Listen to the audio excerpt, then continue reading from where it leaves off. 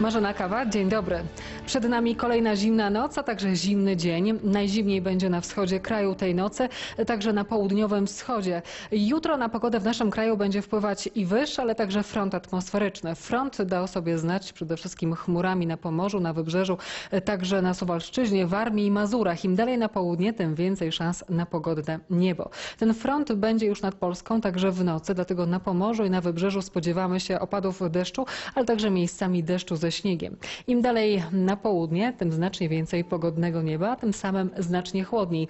Pod chmurami temperatura będzie wyższa. Na Pomorzu Zachodnim w tej nocy temperatura spadnie do 3 stopni. Zimniej będzie w centrum kraju, to minus 1, minus 2 stopnie, a najzimniej na krańcach wschodnich do minus 3. Przy gruncie temperatura może spadać od Suwalszczyzny przez Podlasie aż po Lubelszczyznę, Podkarpacie i Małopolskę do minus 6, nawet minus 7 stopni.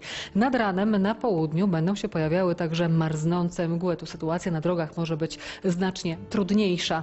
Jutro na naszych pogodowych mapach ta maksymalna temperatura prognozowana jest dla regionów południowych. 13 stopni w Rzeszowie, także we Wrocławiu, 12 na termometrach w Krakowie oraz w Lublinie, 11 w Warszawie, także w Łodzi, 10 w Poznaniu, 9 w Szczecinie i w Świnoujściu, 8 w Gdańsku i 7 stopni w Suwałkach. Na północy, także w centrum będą pojawiały się opady deszczu. Początkowo na północy mogą być te opady mieszane, także ma padać deszcz ze śniegiem. W wielu miejscach poranek będzie także mglisty. Tak ma być na Warmii, na Mazurach, również na krańcach południowo-zachodnich. Ciśnienie powoli będzie spadać. Od czwartku zdecydowanie cieplej. Na północy 11 stopni, w centrum już 16, a na południu temperatura nawet 18 i 19 stopni. Weekend ma być jeszcze cieplejszy. Do zobaczenia.